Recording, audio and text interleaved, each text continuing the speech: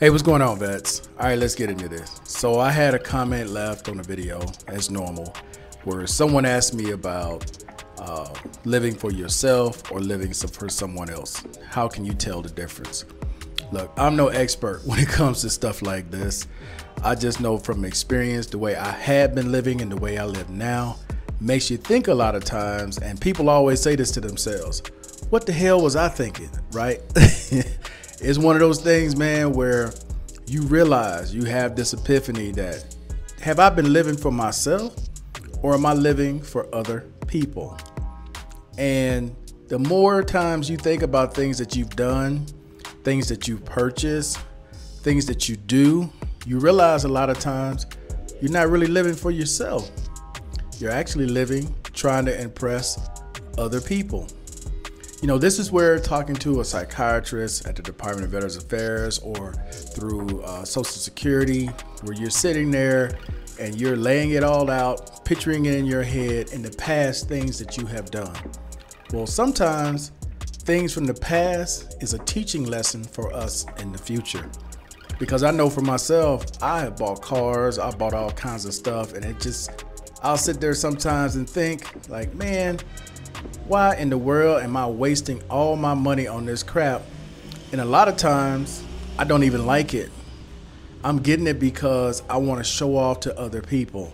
And it's like, for what reason? You know, the mark of having good friends and good family around you is when you're not there, they always have something good to say about you instead of having something negative to say about you.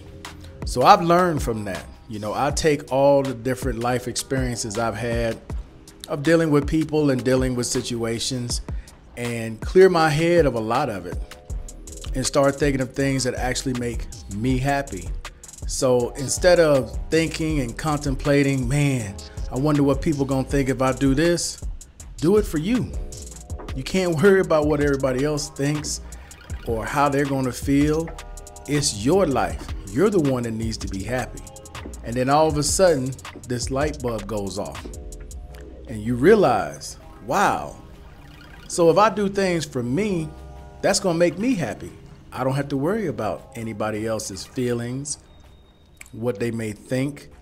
Let me get up and go out and do something different. And then you realize that all this time, you've been stuck in your own head thinking about what other people think about you instead of you living for you. Once you start living for yourself, your life's gonna change. I know my life has. I used to think, man, there's no way you should travel and do all these things by yourself because who you gonna confide in? Who you gonna talk to? The local people that are there. You can still live a great life wherever you decide to live it, whether you're staying in the States or you're going abroad, it doesn't matter. But you got to live for you. you.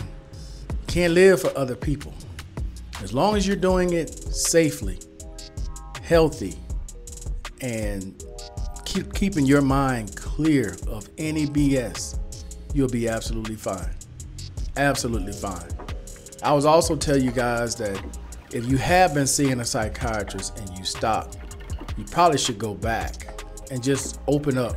Let them know how you feel how you're thinking about things because a different set of ears from someone who doesn't really know you could open you up to different adventures that you may want to take, that you may want to do, but you've been holding yourself back because of fear fear of the unknown.